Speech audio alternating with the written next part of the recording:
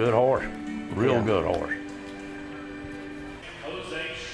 And here's Jose Show Off. This was a reserve Yeah. winner, but I'm gonna tell you, this Jose Show Off, this horse is in 2024 has got been out with three great performances. Won one of them and got reserves. And I'm gonna tell you, she's gonna continue to do That's well. right.